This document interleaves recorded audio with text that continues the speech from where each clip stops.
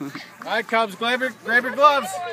Yeah, you know what? I already told Blake, so you call it third inning catcher, okay? Good job. right, Good Cubs. job, guys. Good job, Bailey. Good job, Good job. Carson. Good job, Grab your gloves. Let's go.